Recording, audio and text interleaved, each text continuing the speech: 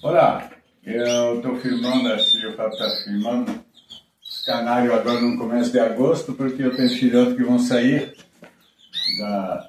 Eu vou tirar das gaiolas e você não ver. Então essa aqui, que é o meu crespo assim, então já cruzei ele com umas sete ou oito fêmeas. Ele não é muito crespo, mas já sendo assim já é o suficiente. Eu corto o rabo dele para ver, porque ele tem um canário grande, tem um rabo muito grande, aí eu corto para facilitar.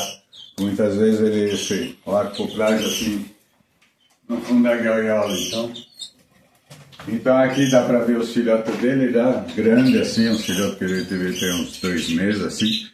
Olha, tem um aqui embaixo que começa a pintar. Deixa eu ver que eu vou pegar a luz.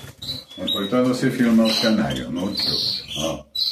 Eu, então estou procurando justamente, eu quero colocar cor nesse crespo, sempre são branco e preto, então eu quero um que seja Flamengo, né? que nem esses aqui, ó, tá? que seja cor vermelho e preto assim, aí só que daí com as penas crespo assim, né? Isso eu estou procurando, certo? Então estou fazendo vários cruzamentos com várias fêmeas que tem o, o X na genética assim para ficar vermelho para poder cruzar, porque esses crespos assim, eles sempre são branco, preto, eles nunca são vermelho colorido, certo? Então aí eu vou mostrar as fêmeas com que ele está cruzado, que eu já cruzei que já tem filhote. Ó. Aqui, olha, tá de novo, eu botei, esse macho eu botei ele de novo com essa branca que está no ninho, ó. E como ele é branco e preto, ele é branco, ó, deu filhote branco e preto e branco.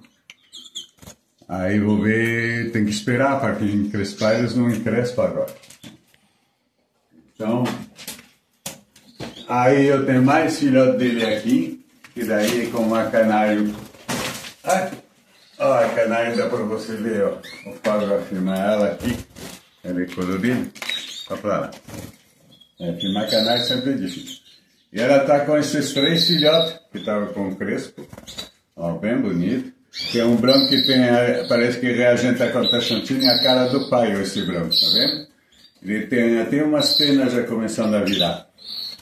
Só que ele é reagente, mas o importante é que se reagente, se suja assim com cantaxantina, importante é eu saber que ele é reagente, que daí eu posso cruzar ele com uma fêmea cobra e aí vai nascer uns crespos assim com colorido vermelho. Opa! Aqui eu tenho uma outra fêmea que eu cruzei com ele que está chocando.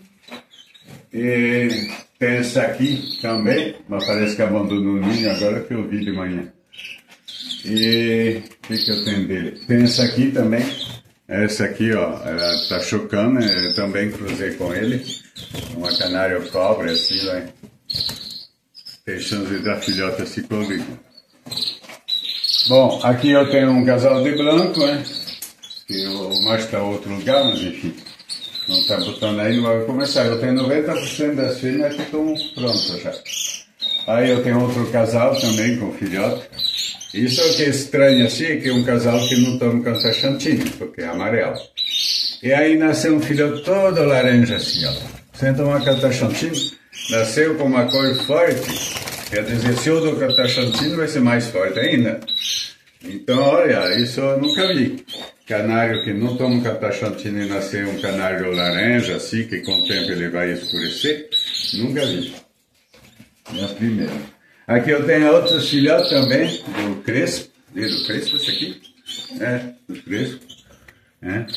Mas o crespo é muito forte, o branco e o preto nasce com uma força hein, terrível.